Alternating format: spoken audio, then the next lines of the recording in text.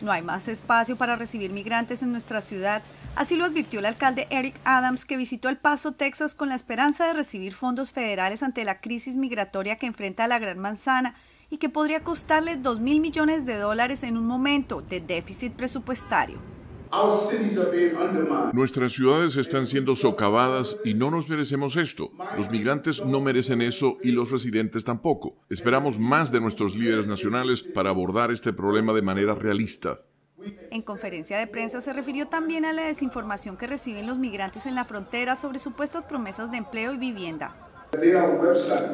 Hay sitios web que anuncian que en Nueva York básicamente las calles están pavimentadas con oro, que hay empleos de sobra y que automáticamente llegarán a vivir a un hotel. Tenemos que proveer información precisa a la gente. En Nueva York van a vivir en lugares congestionados y no hay más espacio. Las palabras del alcalde resuenan en las calles de la Gran Manzana, donde deambulan migrantes en busca de vivienda, pues dicen que los albergues están abarrotados. Ha sido un poquito duro con la cuestión de, de lo que es la vivienda, lo que es trabajo como no tenemos documento aquí, no nos dan documento, permiso de trabajo, ni nada.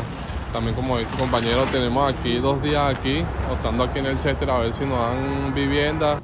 Más de 40 mil personas llegaron a Nueva York en el año 2022, la mayoría de ellas a bordo de autobuses enviados por gobernadores de estados republicanos y en un solo día, desde que comenzó este 2023, 800 migrantes hicieron su arribo a la ciudad, según dijo el alcalde. Ángela González, Voz de América, Nueva York.